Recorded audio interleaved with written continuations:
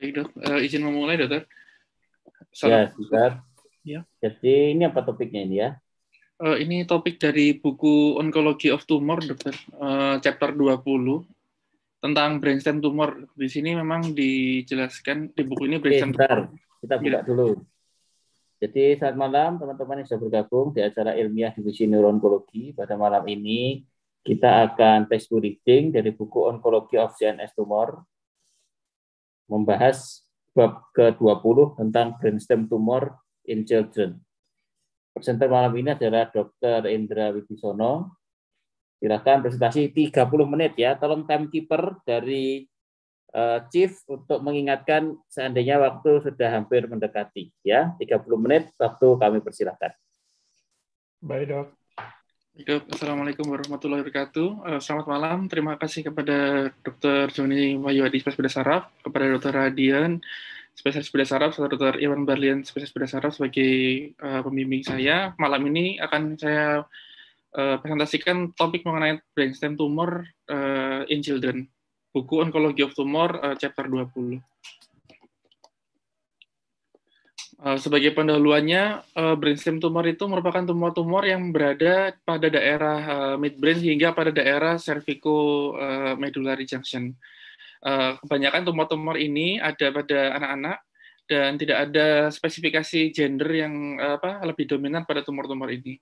Ini kita bisa melihat di gambar sebelah kanan pada daerah midbrain itu ada tumor yaitu tegmental. Saya pakai laser uh, tektal dan tegmental. Lalu untuk tumor-tumor daerah pons itu ada tiga macam jenisnya yaitu diffuse, ada yang vokal, ada yang esofilik, serta pada daerah medula itu uh, cervicomedullary junction. Pertama kita akan bahas mengenai tumor pada daerah midbrain yaitu berupa tektal glioma. Jadi tektal glioma itu secara anatomi berdekatan pada aqueductus sylvian sehingga sering mengakibatkan hidrosipalus obstruktif. Untuk klinis untuk klinis yang didapatkan adalah peningkatan ICP Eh, itu melingkupi adanya papil edem, muntah, mual, serta gangguan penglihatan. Dan kadang juga dapat mengakibatkan adanya ataksia, uh, pyramidal tract dysfunction, serta uh, adanya uh, cranial nerve pada tumor-tumor daerah ini. Lalu Uh, untuk diagnostiknya, memang yang paling utama adalah MRI sebagai golden standard. Uh, CT scan bisa di uh, kurang bisa untuk digunakan karena gambaran yang tampak di CT scan adalah uh, sebagian besar adalah isodens dan jika kita lihat pada potongan T2 serta flare MRI ini akan tampak daerah uh, hiperintensitas di daerah periaquaduktal. Di gambar 20.2 ini uh, axial flare MRI ini tampak adanya hyperintensity di uh, sekitar periventrikular yang yang mengesankan adanya suatu obstruk apa hidrosefalus aktif serta adanya pelebaran pada ventrikel. Lalu pada sagittal T1 MRI itu tampak uh, gambaran uh, masa pada daerah tektum yang mengakibatkan adanya hidrosefalus obstruktif. Dan di poin C ini adalah uh, kondisi ketika telah dilakukan uh, ETV atau endoscopic ventriculostomy. Di sini terlihat uh, hidrosefalusnya mulai apa pelebaran ventrikelnya mulai berkurang dan jarak-jarak sulcus gyrusnya juga mulai tampak dan hasil evaluasi ETV ini bisa dinilai dengan uh, apa sequence Fiesta dari MRI yaitu adanya gambaran flow void uh, yang mengesankan adanya apa aliran dari uh, eh, ETV tersebut. Untuk diagnostik sendiri uh, tumor daerah tektal ini bisa berupa eksofitik bisa berupa kistik maupun uh, bisa berukuran uh, yang sangat besar. Dan sebagian besar tumor-tumor ini tidak uh, tidak enhance terhadap pemberian kontras pada MRI. Di gambaran 20 20.3 ini kita bisa melihat pada potongan sagital ini uh, gambaran tektal tumor di mana ada segmen kistiknya dari potongan uh, MRI T1 di sini ini kesannya tidak kurang atau kurang mengenhance. Lalu dari gambaran MRI kontras di poin B itu tampak uh, tumor ini uh, berada pada trektum hingga pada ventrikel 4. Dan di poin C, di gambar C ini kita bisa melihat ini adalah gambar evaluasi post setelah setelah apa posterior dekompresi dan pengambilan kista. Di sini tampak adanya nodul yang masih tersisa di daerah tektal.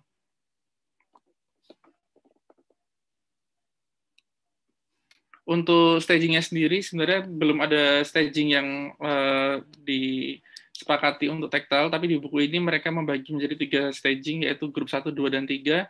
Ini pembedanya adalah uh, ukuran besar serta uh, apa? Uh, lokasi dari tumor tersebut. Jadi di grup satu ini merupakan bulbus tektal mas. Jadi lokasinya di daerah tektum, tektul, apa, tek, tektum saja. Di grup dua ini uh, ada gambaran exopitic growth hingga aquaductus sylvii, uh, lalu bisa mencapai dari daerah segmentum serta di, serta di encephalon dan di grup 3 itu lebih lebih luas lagi hingga ke ventricle 3.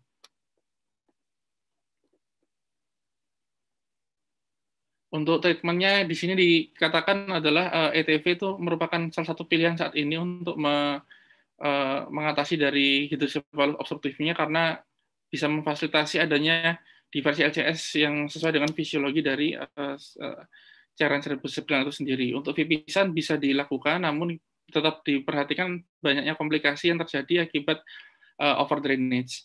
Dan dari kedua terapi yang bisa dipilih tersebut, kita bisa melakukan MRI imaging secara rutin di situ untuk menilai pada ETV apakah masih perlu refenestrasi jika ada sumbatan dan pada vipisan kita bisa menilai apakah adanya uh, malfungsi dari vipisan tersebut. Dan untuk uh, pembedahan secara langsung dari tektum tumor ini uh, sebaiknya tidak di apa tidak uh, harus dilakukan dengan hati-hati. Uh, maksudnya di sini adalah dilakukan dengan uh, adanya intramonitoring karena berhubungan pada daerah-daerah yang uh, apa yang cukup rawan. Lalu uh, untuk radio radioterapi serta kemoterapi itu juga disebutkan dapat diindikasikan untuk membantu uh, peningkatan dari survival rate pada pasien-pasien ini. Untuk prognosis serta quality of life-nya uh, ketika anak-anak itu dengan hidrosefalus itu sudah uh, mengalami apa dilakukan adanya diversi LCS itu uh, untuk uh, kehidupan ke depannya itu bisa diperbaiki juga fungsi kognitif serta perkembangannya yaitu dengan apa monitoring serta uh, program program khusus. Dan di sini untuk prognosisnya relatif baik dengan tidak lupa memonitoring dari uh, adanya hidrosefalus yang bisa terjadi kemudian hari bila ada uh, malfungsi dari device. Lalu untuk tumor brain kedua yaitu tumor di tegmentum itu uh, sering terjadi pada anak-anak di bawah 14 tahun. Gejalanya uh, juga termas juga tergantung dari lokasinya. Di sini bila mengenai unilateral tegmentum itu dapat menekan corticospinal tract sehingga mengakibatkan hemiparese uh, juga bisa menyebabkan palsi dari cranial nerve serta ataksia. Dan jika adanya ekstensi pada basal ganglia serta lamus itu juga bisa mengakibatkan uh, tremor unilateral. Untuk diagnosanya juga masih sama kita uh, menggunakan MRI. Di sini uh, MRI pada gambar 20.4 ini kita bisa melihat pada MRI sequence T1 ini belum menggunakan kontras bisa kita lihat adanya lesi pada daerah brainstem terutama pada bagian tegmentum dan ketika penggunaan kontras ini kita bisa melihat uh, bahwa lesi tersebut homogeneous contrast enhance. Uh, lalu untuk di putaran koronal ini kita bisa melihat bahwa lesi tersebut uh, dari daerah brainstem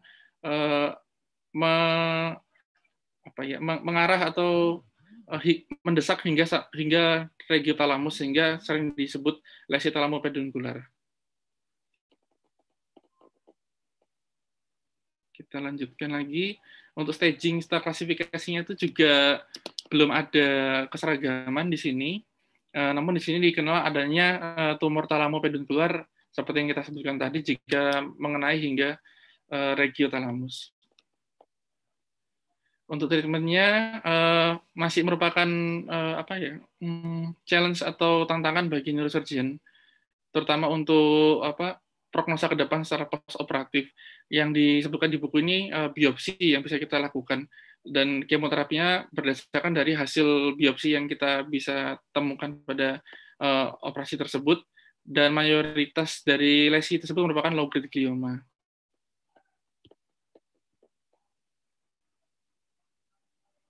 Uh, untuk surgery sendiri untuk biopsinya di sini kita uh, bisa melihat penggunaan dari alat neuronavigasi. Jadi neuronavigasi ini uh, terutama dari sequence DTI juga dimasukkan dari, ke alat tersebut uh, untuk membantu uh, mengetahui adanya traktus-traktus yang penting ketika kita mengambil dari uh, tumor tersebut serta pada buku ini di, di, dijabarkan adanya intraoperatif MRI scanning yaitu untuk melihat sampai sejauh mana ketika nanti uh, eksisi tersebut telah dilakukan. Jadi untuk goal of surgery-nya itu uh, tetap merupakan grossular resection, namun di sini Eh, dengan memperhatikan mempreservasi dari fungsi neurologisnya uh, pastinya.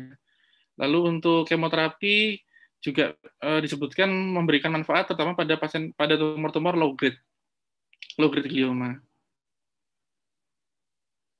Untuk quality of life atau prognosanya ini uh, jika ada residual tumor tuh memiliki tempat untuk dilakukan target kemoterapi maupun konvensional kemoterapi dan radioterapi. Dan masih ada kemungkinan untuk uh, muncul kembali sehingga diperlukan adanya MRI imaging. Untuk survival years rate-nya itu hingga 90% selama 50 tahun. Jadi cukup baik. Berikutnya kita akan memasuki uh, tumor-tumor pada daerah pontin. Ini dibagi tiga, yaitu diffuse intrinsic pontin, yaitu hampir di keseluruhan pons. Dorsal esopitik ini biasanya masuk ke dalam uh, ventricle 4 dan vokal pontin tumor yang warna ungu. untuk pontin tumor sendiri ini uh, paling uh, pada diffuse intrinsik itu merupakan tumor yang paling sering ditemukan yaitu 70% uh, jenis dari tumor-tumor pons. Di sini survival overall survival year-nya itu sangat rendah sekali yaitu kurang dari dua tahun sejak diagnosa itu ditegakkan, tidak ada uh, pengaruh hubungan kelamin di sini dan rata-rata ditemukan pada anak-anak usia 5 sampai 10 tahun.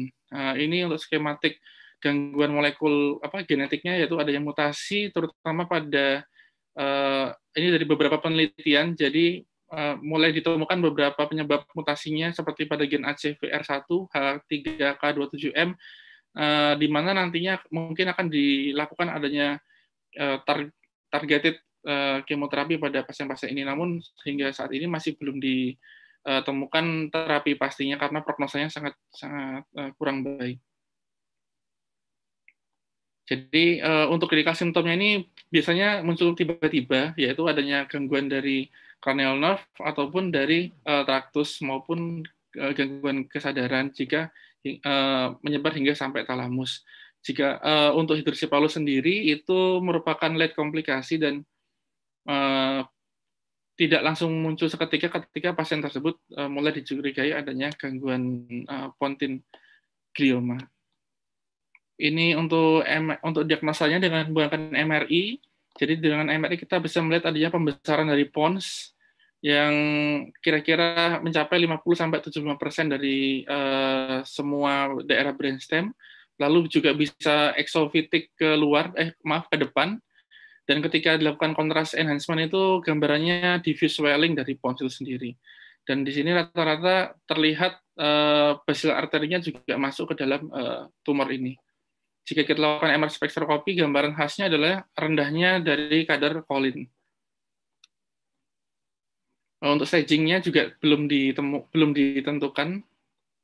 Untuk treatmentnya di sini dikatakan tidak ada uh, tempat untuk dilakukan operasi dan uh, sebaiknya langsung dilakukan radioterapi dan kemoterapi di sini uh, dikatakan juga tidak terlalu banyak memberikan efek.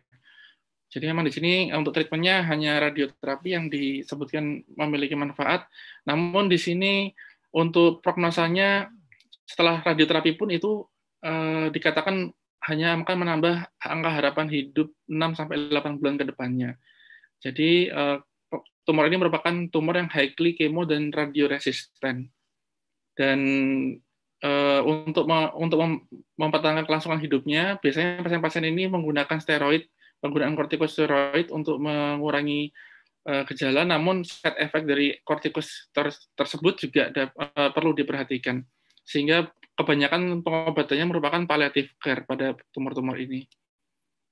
Ini diagnostiknya dari CT scan sendiri sebenarnya sudah terlihat yaitu adanya lesi uh, hipodens yang hampir mengisi ventricle 4 uh, eh, dan di sini jika dilakukan uh, kontras enhance sendiri lesi tersebut juga uh, tidak homogen dan ada bagian dari vent, uh, uh, 4 di sini yang terlik apa yang terlingkupi atau adanya tumor yang masuk ke dalam ventricle 4 ini. Uh, ini adalah gambaran dari uh, dorsally esophageal pontinglioma. Jadi ini terlihat uh, jelas dari CT scan. Jadi adanya tumor yang keluar uh, hingga memasuki ventricle 4. Jadi dia uh, secara exophytic keluar ke bagian dorsal. Untuk diagnosanya uh, dari MRI dari MR ini kita bisa melihat adanya uh, ruang ruang yang berisi dengan cara cairan LCS yang mungkin terdorong ke daerah dorsolateral karena adanya tumor yang masuk ke dalam ventricle 4.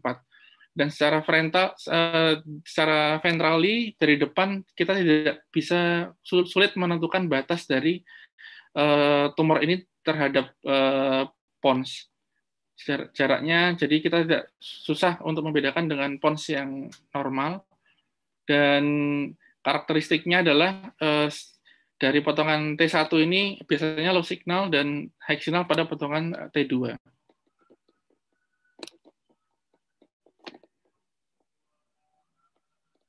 Untuk staging dan klasifikasinya, uh, kebanyakan dorsally exophytic pontine glioma ini merupakan uh, tumor-tumor astrocytoma.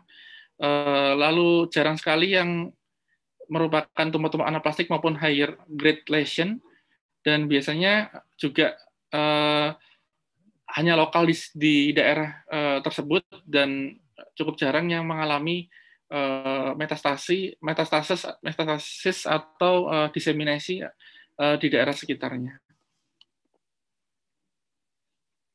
Untuk treatment uh, pada tumor ini treatment pembedahan itu cukup bisa dilakukan dan merupakan pilihan utama. Nah, namun di sini uh, yang perlu diperhatikan pada pembedahan adalah uh, tidak jangan sampai kita mereseksi daerah yang lebih apa yang berada di daerah yang lebih dalam karena itu merupakan uh, lantai dari ventricle 4 sehingga dibutuhkan uh, IO maupun neuron navigasi yang bisa kita lakukan pada saat proses pembedahan.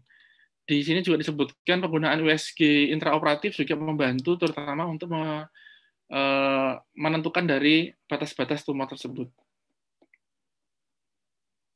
Ini secara umum operasi dari dorsal exophageal pontinglioma yaitu pasien uh, kita lakukan dekompresi suboccipital, dilakukan Y shape dari insisi dura dan di sini kita bisa melihat ada uh, retraksi dari kedua cerebellum. Jadi memang ini dikatakan uh, telovelar telovera approach yang bisa dilakukan untuk uh, reseksi dari dorsally esophageal pontinglioma. Untuk treatmentnya, uh, penggunaan radioterapi itu juga dapat dilakukan untuk mengurangi uh, ukuran tumor, uh, terutama pada kondisi-kondisi di mana pembedahan itu kurang bisa dilakukan. Biasanya kita menggunakan apa, 54 gray pada 30 fraksi selama 6 minggu, dan di sini dikatakan uh, tumor kontrol setelah radiasi radiasi terapi itu juga me, membuahkan hasil yang cukup baik. Dan pada uh, kondisi-kondisi biological targeting terapi itu uh, kemoterapi yang targeted juga dilaporkan memberikan hasil yang cukup baik. Untuk prognosa of life-nya uh, baik, yaitu lima tahun survival rate-nya itu hampir 90% pasien-pasien ini memiliki prognosa yang baik tersebut dan eh, angka kekambuhan juga juga tetap dilaporkan bahkan pada pasien-pasien yang mengalami yang dilakukan gross total reseksi. Nah, di sini dikatakan bahwa uh, ada uh, jika kita melakukan total maupun total reseksi itu memberikan uh, outcome yang baik dibandingkan kita melakukan uh, hanya parsial reseksi yaitu kurang dari 50% masa tumor. Baik, untuk berikutnya eh, kita masuk ke bagian ketiga yaitu cervicomedulary uh, glioma. Untuk sign and symptomnya sendiri, tumor ini cukup jarang ditemukan, lalu pertumbuhannya juga lambat, dan secara histologi itu uh, sebagian besar merupakan tumor-tumor jinak.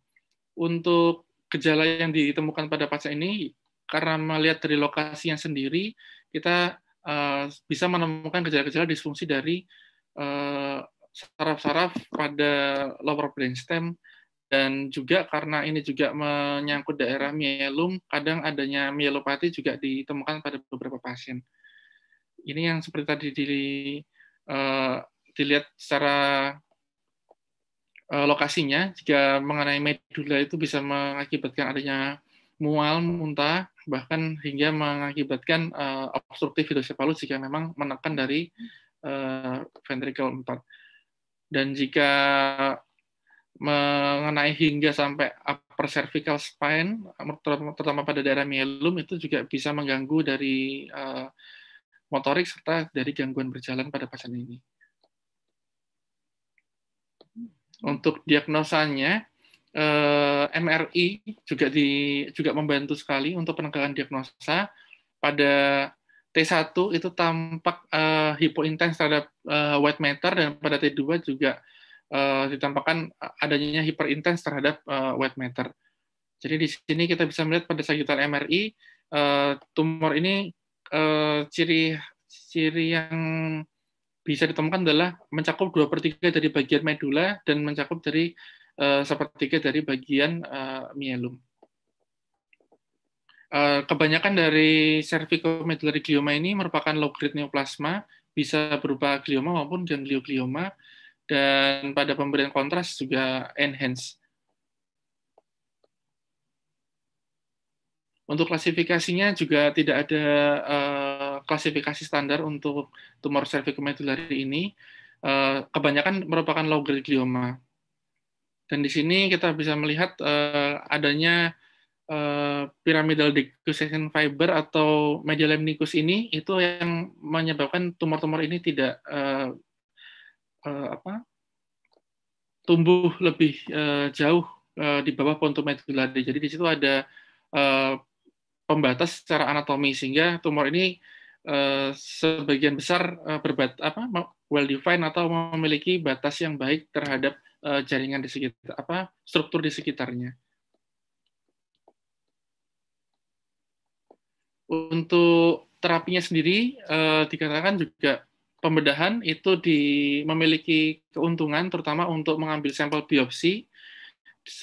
Kemudian juga bisa eh, kita ambil keuntungan yaitu eh, melalui dekompresi dari brainstem sendiri maupun dari cervical spine sendiri. Dan di sini dikatakan komputer seksi itu kadang susah dilakukan karena ini akan mengganggu apa memiliki resiko tinggi eh, menentukan batas-batas dari tumor itu sendiri yang nantinya bisa mengakibatkan uh, defisit neurologis. Mungkin di sini jika kita melakukan dengan uh, IOM interoperatif monitoring untuk melihat batas-batas dan struktur fungsionalnya bisa dilakukan dengan lebih baik. Jadi dikatakan selain uh, neurofisiologi monitoring atau interoperatif monitoring tadi, uh, kita menggunakan beberapa alat bantu lain berupa USG maupun intraoperatif MRI di uh, center luar mungkin intraoperatif MR ini sudah uh, bisa dikerjakan sehingga membantu uh, proses sejauh mana reseksi tumor yang sedang kita lakukan. Uh, ini untuk treatmentnya sendiri, pembedahan sendiri itu dikatakan uh, mungkin kurang uh, masih masih kurang membantu untuk uh, penyembuhan dari tumor-tumor low grade. Bahkan untuk tumor-tumor yang bersifat high grade sendiri, pembedahan itu juga masih dikatakan uh, tidak membantu sama sekali untuk uh, penyembuhannya. Sehingga di sini uh, ada opsi lain berupa radiasi radiation terapi yaitu uh, untuk membantu dari uh, treatment terutama pada tumor-tumor yang low grade.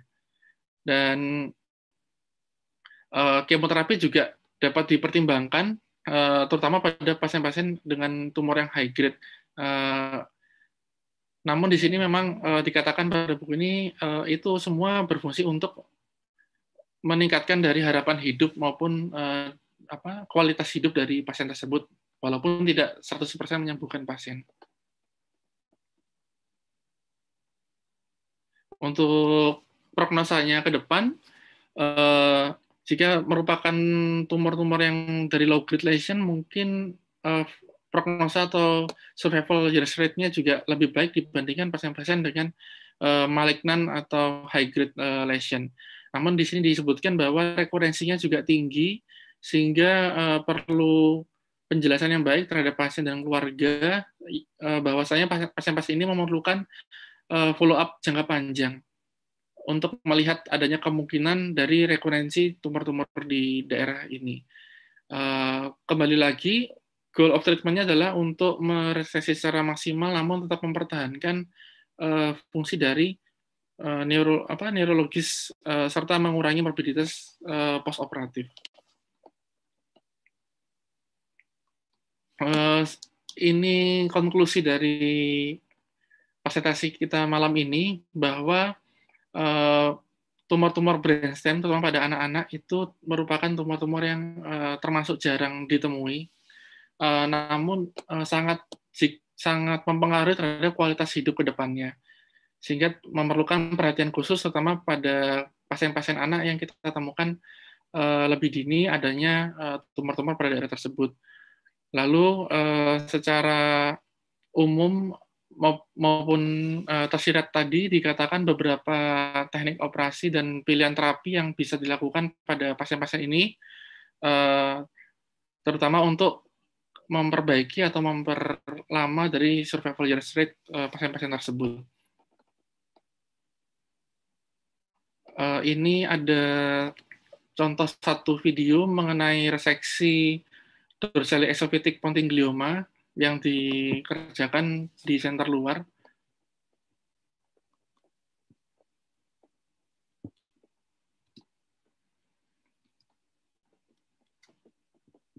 Mohon maaf.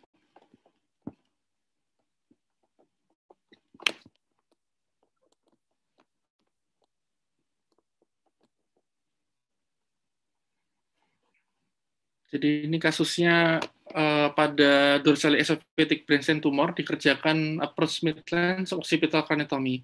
Di sini dikerjakan dengan uh, bantuan dari alat intraoperatif monitoring durante operasinya. Ini dikerjakan di Center Leavenworth Children Hospital di, di Tennessee.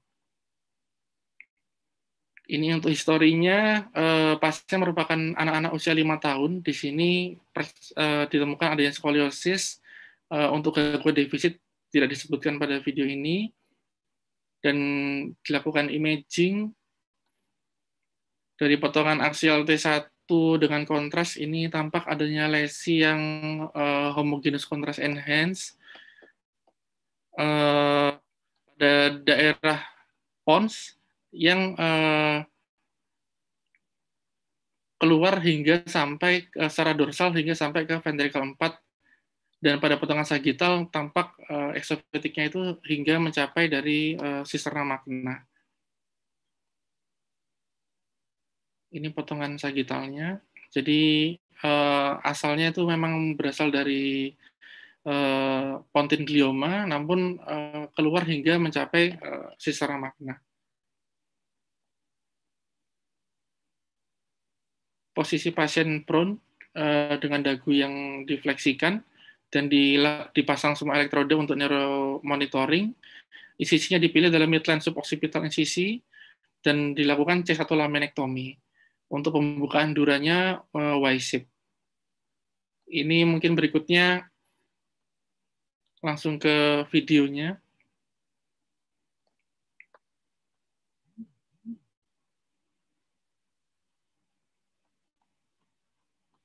Jadi ini penamp, uh, tampilannya tam, kita tampak dari sebelah kanan yang di bawah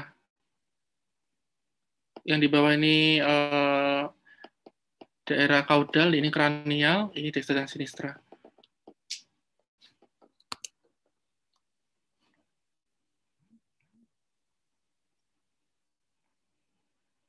Setelah membuka dari laminektomi C1, tampak uh, kita bisa melihat dengan lebih mudah uh, batas antara myelum dengan cerebellum uh, dan dilakukan eksisi dari kapsul tumor.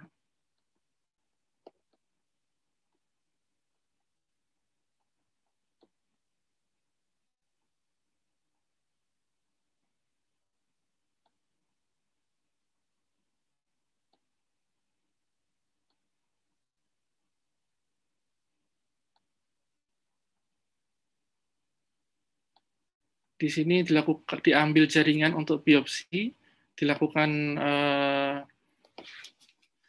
pemeriksaan biopsi secara situ untuk melihat uh, karakteristik dari tumor. Kemudian memulai diseksi dari arachnoid mengelilingi tumor.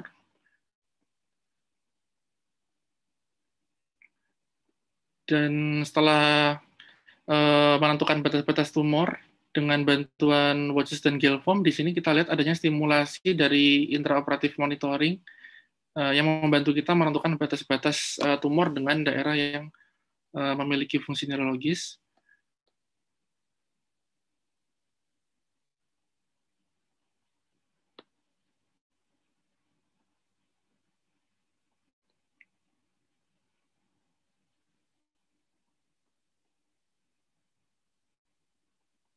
Kemudian kembali dilakukan diseksi secara tajam dan rawat pendarahan dengan bipolar.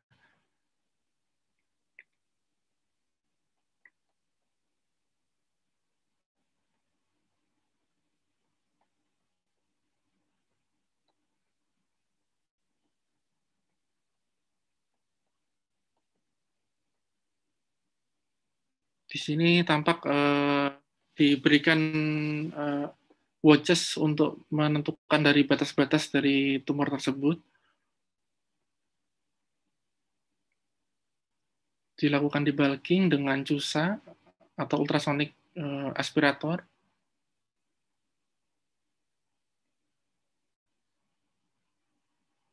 Setelah dilakukan central debulking, kemudian dilakukan, dilanjutkan kembali diseksi tumor dari jaringan sekitarnya dan kembali dilakukan uh, stimulator dengan intraoperatif monitoring untuk menentukan posisi.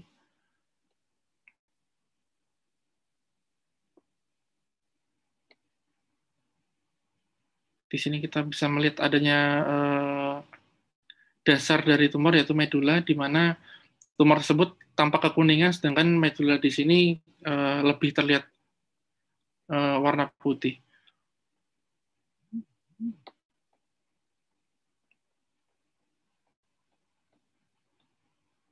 Di sini di baliknya kita lihat uh, senter tersebut menggunakan ultrasonic aspirator.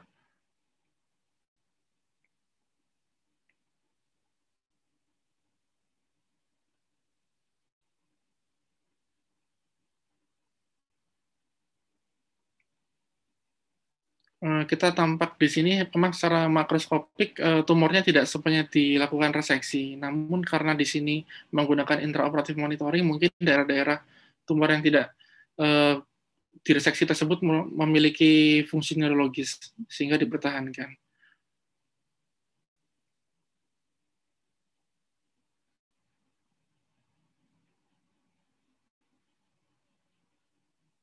Di sini dilakukan uh, intraoperatif MRI. Jadi tampak di sini uh, bahwa hampir semua atau near near resection dari tumor itu di, dikerjakan. Uh, tidak tidak gross total. Namun di sini kita bisa melihat uh, dengan bantuan intraoperatif MRI ini adalah uh, sejauh mana uh, reseksi yang sudah kita lakukan. Uh, jadi ini merupakan modalitas yang sangat membantu sekali bila bisa dikerjakan.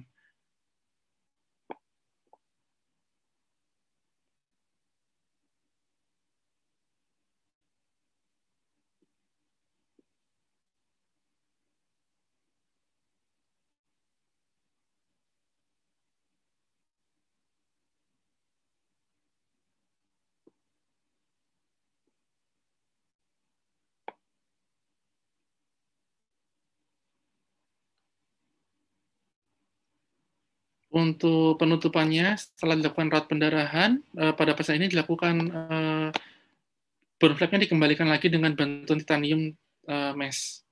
Lalu untuk patch-nya mungkin ini menggunakan bovine pericardial patch graph. Jadi mungkin ada graph uh, yang disediakan khusus dari bovine.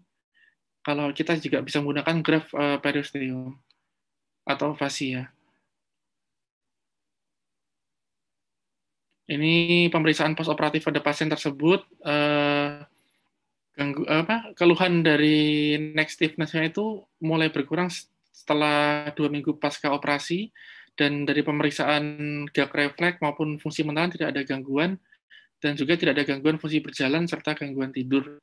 Di sini nampaknya penggunaan IOM sendiri merupakan modalitas yang sangat membantu, terutama untuk reseksi pada daerah vital seperti ini. Waktu sudah lebih dari tujuh menit, An.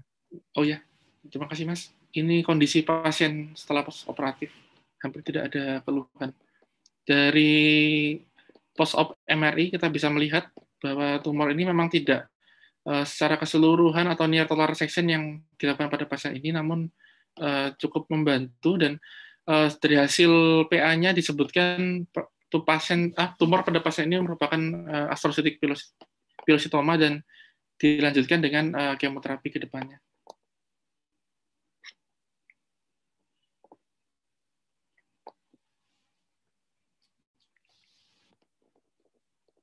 Ya, baik. Uh, terima kasih uh, atas kesempatannya. Uh, sekian presentasi dari saya. Mohon masukan dan uh, tambahan dari rekan-rekan Mas Sadade serta dari dokter. Terima kasih. Wassalamualaikum warahmatullahi wabarakatuh. Waalaikumsalam warahmatullahi wabarakatuh. Ya, terima kasih. Uh, silakan jika ada yang menanyakan, bagus presentasinya, gambar-gambarnya lengkap, ada videonya juga, uh, bisa membantu visualisasikan. Mungkin ada yang mau ditanyakan dari panelis, silakan. Bertanya, dokter. Oke. Okay. Uh, dokter Indra minta tolong dibukakan uh, slide kedua, eh, slide pertama. Uh, ya, yang ini. Uh, izin uh, bertanya, Dr. Indra. Uh, dari kalau kita lihat di sini ada tegmental, tektal, vokal ataupun exobitic dan cervicomedulari. Adakah uh, self entry zone dari masing-masing tumor ini dok, uh, dok untuk masuk ke tegmental ataupun masuk ke uh, ke pons yang di anterior atau vokal ataupun cervicomedulari. Terima kasih. Ya, baik. Uh, terima kasih pertanyaannya kepada Dr. Wido ini yang eh, coba saya pahami dari buku ini disebutkan. Jadi pertama, jika kita melihat tumor di daerah eh, tektal, di sini karena posisinya eh, cukup eh, ada di daerah dorsal, jadi ada pilihan operasi eh, approach yaitu melewati dari infatentorial uh, supracerebellar yang pertama dan yang kedua bisa melalui approach uh, occipital uh, transtentorial untuk tumor di regiotektal. Jadi, uh, namun mohon maaf di sini video untuk kedua approach tersebut uh, belum saya masukkan. Uh, ke depannya nanti mungkin bisa ditambahkan. Nah, untuk tumor-tumor di daerah tegmental sendiri di buku ini dikatakan juga uh, bisa melalui approach tersebut, namun uh, untuk perbedaannya pada daerah tumor untuk tektal ini target utamanya adalah uh, gross total resection. Namun pada tumor-tumor tegmental mungkin karena lokasinya yang cukup jauh ke depan itu uh, target utamanya adalah untuk biopsi.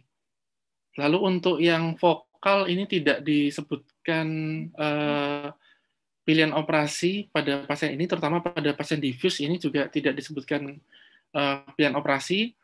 Untuk yang daerah dorsal uh, itu bisa yang tadi kita lihat bersama itu melalui telovelar approach posisinya dengan uh, mensplit dari apa cerebellum. Untuk medula atau cervicomedular di sini uh, gambarannya ini uh, juga uh, approach-nya juga uh, telovelar. Jadi di sini uh, terlihat bahwa ditambahkan adanya laminotomi dari C1 sehingga uh, terutama pada struktur tumor yang berada pada uh, junction terse tersebut dengan membuka C1 kita bisa melihat uh, mielum lebih baik dan mengakses dari tumor yang berada memang pada daerah mielum atas. Mungkin demikian, Dr. Widu. Mungkin ada tambahan atau koreksinya. Gimana nanti pertanyaannya apa approach-nya ya? Uh, enggak dok, uh, approach-nya dokter dari tumor-tumor ini. entry zone-nya dokter dari tiap masing-masing dari tegmental, tektal ataupun vokal oh, atau esopitik dokter. Apakah ada beda gitu dok, kira dok? Hmm. Safe entry zone pertanyaannya itu tadi. Jawabannya gimana kok safe entry zone? Safe entry zone itu kamu harus tahu mapping dari posterior brainstem itu nukleus-nukleus yang penting ada di mana. Itu gunanya iom. Iomnya nanti menstimulasi nukleusnya itu. Jadi kortikobulbarnya, nukleus bulbarnya itu di sebelah mana. Nanti dari situ ada ada area-area yang bisa aman karena sudah ada punyanya tiga, tujuh, eh, enam itu ada di situ. Jadi harus dipahami anatominya. Itu ada jurnalnya tersendiri itu nanti. Coba siapa yang sempat cari, coba tampilkan di sini anatomi dari posterior brainstem atau brainstem secara keseluruhan ada. Safe entry zone pada brainstem itu ada jurnalnya khusus itu. Ya. Iya, coba saya cari. Approach itu hanya melihat ke brainstemnya, tapi pada saat kita mau entry ke brainstemnya, masuk ke brainstem itu ada tekniknya sendiri.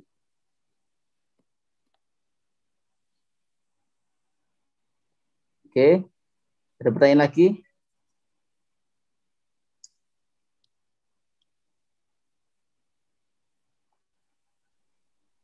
Uh, izin bertanya, dok, uh, Dokter Endra, untuk follow up, follow up pada kasus-kasus tumor anak-anak ini, uh, yang penting apa yang harus kita lakukan? Baik, uh, terima kasih. Jadi uh, untuk follow up pada pasien-pasien tersebut karena memang pasien tersebut eh, pertama diagnosa pertama yang ditemukan itu adalah pada usia-usia eh, dini. Jadi eh, terutama untuk pasien yang saya tangkap di sini untuk pasien-pasien yang memiliki eh, rekomendasi untuk dilakukan pembedahan itu terutama adanya rekurensi. Jadi memang eh, follow up yang dilakukan di sini eh, melalui MRI itu sangat uh, membantu sekali. Jadi pasien-pasien postoperatif uh, ke depannya itu uh, setelah dilakukan uh, tambahan dari kemo dan radioterapi itu MRI serial imaging-nya itu sangat uh, membantu. Jika kita lihat di sini pada tumor-tumor daerah midbrain, uh, terutama pada uh, tumor yang mengakibatkan adanya hidrosefalus tadi kan disebutkan uh, dilakukan ETV maupun uh, VPSAN.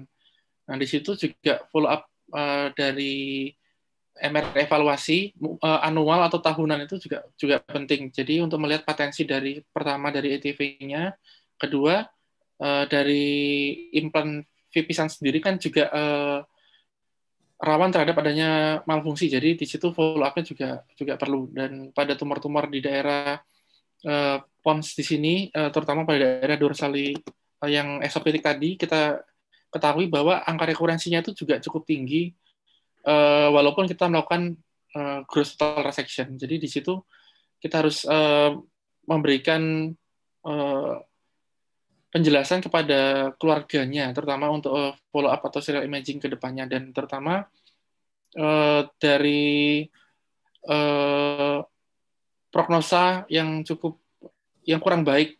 Jadi pasien-pasien tersebut harus sudah mulai diberikan penjelasan terhadap prognosa ke depannya. Untuk pasien-pasien yang tidak memiliki uh, opsi untuk pembedahan, uh, follow up ke depan juga penting dilakukan, terutama jika uh, ada gejala-gejala neurologis yang timbul ketika tumor tersebut membesar. Jadi yang mungkin awalnya berupa vokal dan belum terjadi uh, hidrosefalus ataupun gangguan uh, efek masa lainnya itu kita harus tetap melakukan uh, follow up secara rutin. Jika memang ada gangguan defisit maupun adanya uh, efek dari obstruksi itu perlu dilakukan tindakan baik dekompresi maupun uh, diversi LCS. Uh, Mungkin seperti itu, uh, Dokter Gema. Mungkin ada tambahan dari yang lain?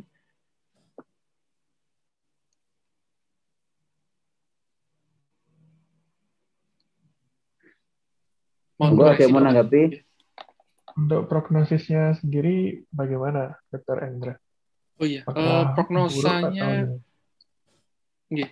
untuk prognosanya kalau disimpulkan dari chapter ini uh, yang cukup baik itu hanya dorsali exophytic saja. Yang lainnya uh, itu prognosanya kurang begitu baik, terutama di sini yang sering ditemukan adalah uh, diffuse intrinsic pontine glioma. Ini hampir 70% dari glioma pons yang bisa ditemukan pada pasien. Uh, namun di sini uh, survival rate-nya itu sangat uh, kurang-kurang baik atau very poor. Jadi, dikatakan bahwa uh, hampir dua tahun setelah penegakan diagnosa itu juga mengalami perburukan yang signifikan. Mungkin jika kita menemukan pasien ini karena memang uh, angka apa most common-nya tadi hampir 70%, kita bisa lebih awal memberikan penjelasan kepada keluarga pasien.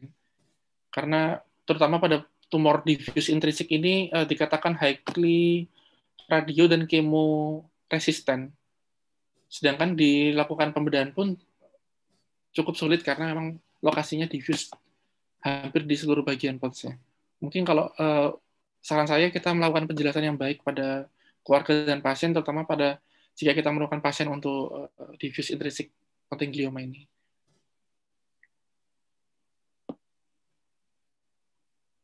Mungkin ada tambahan dari mas-mas dan rekan-rekan yang lain? Gimana yang sudah chief, silahkan ditanggapi.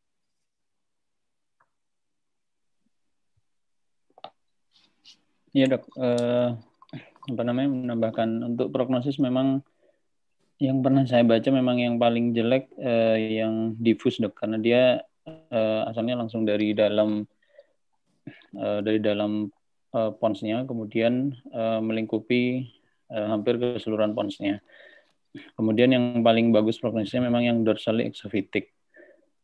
Eh, kemudian saya ada pertanyaan pada Dokter Endra mungkin, eh, bagaimana kita membedakan uh, tumor yang dorsal exophytic tadi dibandingkan dengan uh, apa namanya tumor intraventrikuler yang ependymoma atau subependymoma. Misalnya kita misalnya, misalnya kita lihat dari MRI-nya. Baik, terima kasih kepada Dr. Januardi. Jadi di sini uh, mungkin kita bisa melihat dari apa uh, bagian atau struktur dari uh, dinding uh, ventricle 4-nya, terutama pada bagian anterior ini, yang sering ditemukan adalah uh, untuk dorsali exophytic, sedangkan untuk yang bagian uh, FND, apa untuk tumor-tumor ependymoma itu mungkin munculnya mulai dari dinding dorsal. Uh, mungkin secara anatomi demikian ya, Mas. Uh, mohon koreksi, Mas.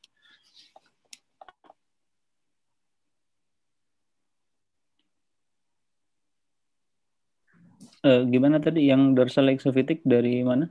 Kalau dorsal exophytic uh, dari dinding yang lebih ventral uh, apa? Sedangkan dari uh, untuk ependymoma itu muncul dari dinding yang lebih dors yang yang di dorsal dari uh, ventricle 4. Namun mungkin bisa saya baca kembali, Mas. Kalau dari misal dari klinis atau anamnesis dan pemeriksaan fisik apa ada bedanya nggak ya? Mungkin dari klinis pasien mungkin dokter Hendra sudah sempat baca mungkin. Hmm, baik, terima kasih Mas.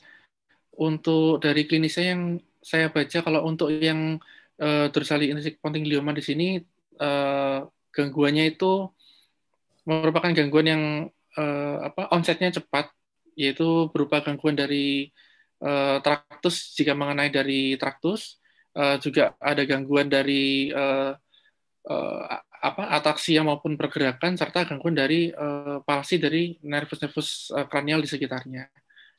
Untuk yang ependymoma sendiri uh, mohon maaf saya masih belum ini belum membaca lebih dalam lagi, terutama untuk klinis-klinis pada pasien tersebut. Uh, Namun di sini uh, hampir sebagian besar uh, klinis yang ditemukan pada pasien-pasien brainstem tumor ini terutama berhubungan dengan uh, palsi dari nervus kranial maupun dari uh, gangguan motorik serta uh, mungkin gangguan uh, TIK jika memang ada obstruktifnya. Jadi itu mungkin yang bisa dipertimbangkan jika kita apa, mendapati klinis pasien yang seperti demikian.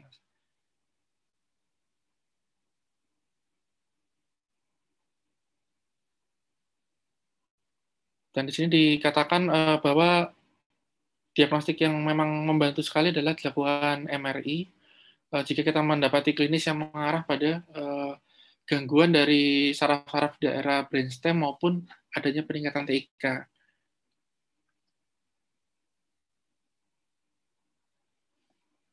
Uh, ada tambahan mas? Mohon koreksi. Jadi, kalau kita bicara brainstem, atau bicara tumor, kok ditanya prognosis nomor satu itu tergantung selnya. Jadi kalau kita dapat itu pertama PA-nya apa? Itu kamu kira-kira tipe tumornya untuk daerah itu kan bisa macam-macam, bisa ependimoma, bisa pirositik astrostoma, bisa GBM juga bisa. Nah itu sangat mempengaruhi dari uh, prognosisnya. Kemudian lokasinya, lokasinya itu dipengaruhi oleh bagaimana interaksinya terhadap struktur-struktur vital yang ada di sekitarnya. Kalau mau ngomong struktur vital di brainstem, kamu harus tahu lokasi nukleus-nukleus yang di situ. Kira-kira dia mendorong atau merusak. Kalau cuma kalau ada beberapa profesor itu berpendapat bahwa lesi di brainstem itu dia cuma mendorong. Sehingga selama kita masih bisa mempertahankan mempertahankan batasnya, itu nggak akan rusak anunya, nukleusnya. Tapi ada juga yang mengatakan itu terlingkupi. Nah, bagaimana peran IOM? IOM itu kan menstimulasi listrik di area tersebut. Jadi walaupun itu apa namanya eh, bukan walaupun. Jadi itu harus hati-hati interpretasinya. Karena sangat dipengaruhi berapa miliampere yang kita pasang, jenis stimulasinya apa yang dipakai karena stimulasi yang dipakai tadi akan mengaktifkan menstimulasi nukleus yang ada di situ. Ya, jangan sampai IOM itu salah diinterpretasikan yang dianggap masih jauh apa yang dianggap jarak ini masih jauh dianggap sudah dekat sehingga banyak tumor tersisakan. Atau justru sebaliknya, dia tidak bisa mendeteksi jarak yang sudah dekat sehingga kita merusak nukleus yang sudah ada.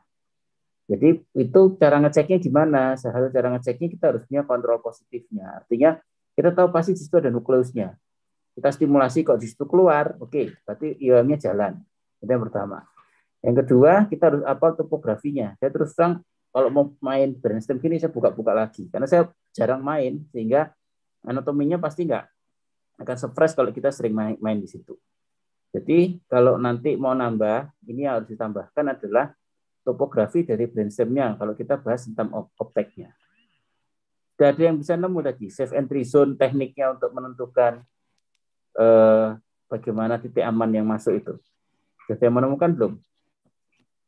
Jurnalnya. Coba saya search. Jadi peran IOM itu tahu saya itu mapping. Mapping nuklis-nuklis. Karena dia tidak, kalau sudah kandung rusak, IOM tidak bisa me, me, me, mencegah. Jadi kita benar-benar untuk melangkah itu aman atau tidak. Saya kurang paham tadi dengan teknik mapping pada lower medulla itu apa yang mau dicari, saya susah nggak begitu paham. Apakah dia mau direct cortical stimulation seperti eh, CMEP, tapi saya belum pernah cortical stimulation di daerah medulla. Mungkin nanti bisa diterangkan teknik-teknik IOM yang digunakan di situ, sehingga bisa kita adopt di Surabaya.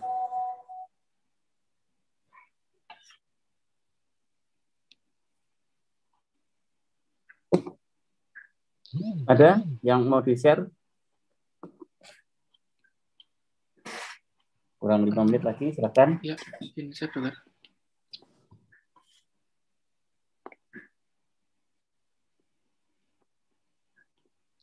Ini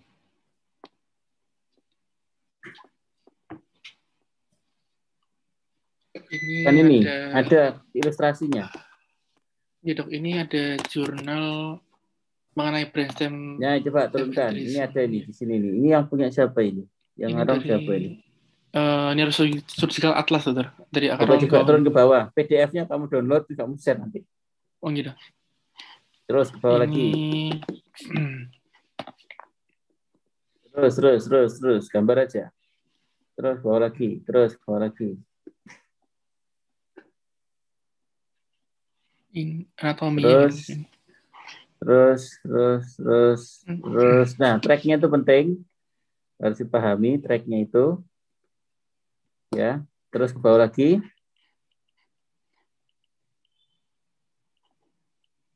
terus bawah lagi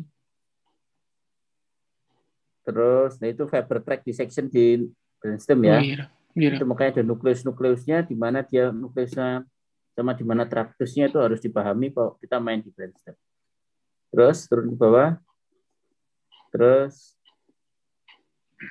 terus terus terus terus Terus yang ada warna-warninya kok. Saya pernah lihat. Uh, Oke, okay, nah seperti contoh ini. Oh, sebentar. Belum lagi, di bawah lagi. Terus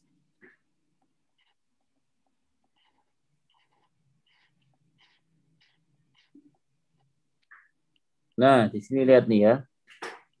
Ini Coba naik lagi. Turun terus, harusnya turun ke bawah, turun ke bawah.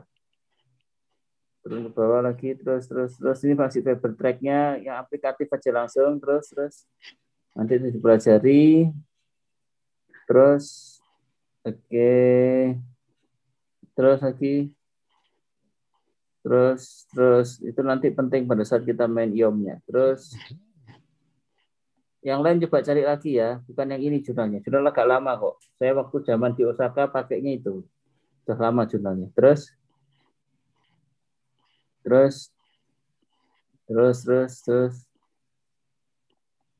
ini dasarnya terus terus terus terus naik ke atas lagi terus terus lagi terus ini lengkap tapi terlalu kompleks. Ini agak susah ini. Tapi bagus ini. Terus terus itu lagi. Ada yang menemukan jurnal yang lain nggak? Ini saya screen dulu. Oh iya. Hmm, silakan.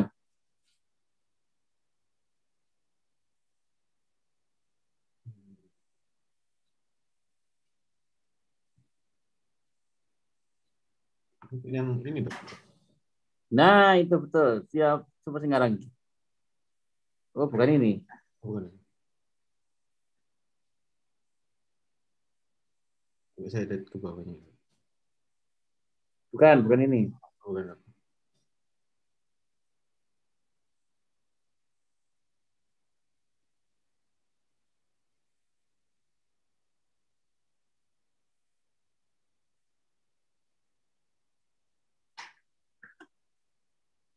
Yang ada langsung skematiknya. Bentar, aku tak carikan.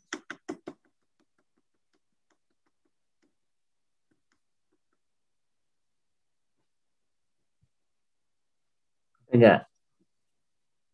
Ini coba saya share dok. Ini ada gambar. Oke.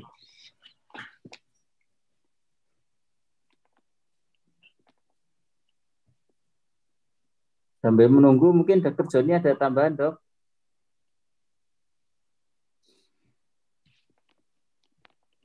Dr. Joni ada ya. Ini beliau ada.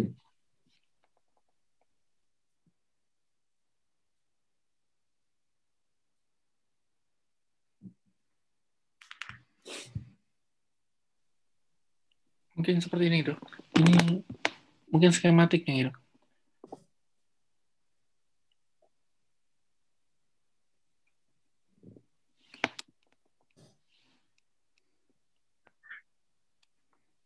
Ya, betul ini. Ini bisa. Ini tak share nanti. Ini ada yang mau tak share juga di stasiunku ya.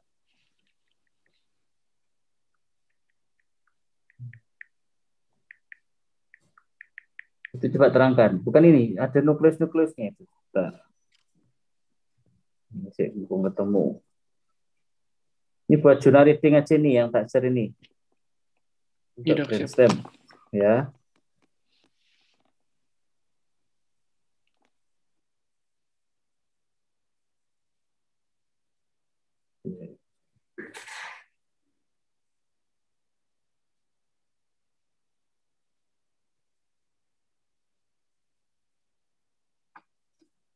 Coba dibuka itu.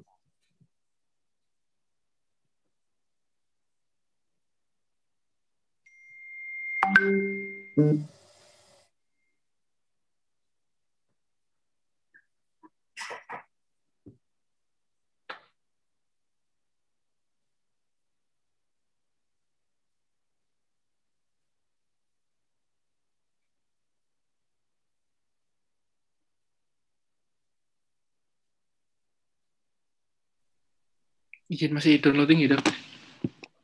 Ya, nggak apa-apa. Itu jadi tugas berikutnya aja, karena topiknya cukup rumit dan langsung aplikasi IOM-nya gimana, ya. Iya, Dok, siap. Oke, ada beberapa teknik itu. Jadi safe corridor tuh brainstem gitu biasanya ya. Jadi koridornya itu dicari itu masuknya lewat mana gitu. Ya. Coba siap, dicari nanti kita bahas itu ya. Oke, ini sudah jam 9. Ada yang mau ditambahkan, Dr. Joni, closingnya dok, mungkin ada yang disampaikan? Hmm, dia masih bersama kita ya. Azam, Ya, Dok. oke. Mana kamu, Azam? Oke, Alhamdulillah. Itu ada mau bimbingan ya. Oke, kalau sudah Dok. selesai, kita akhiri pertemuan malam ini. Terima kasih. Boleh diakhiri rekamannya.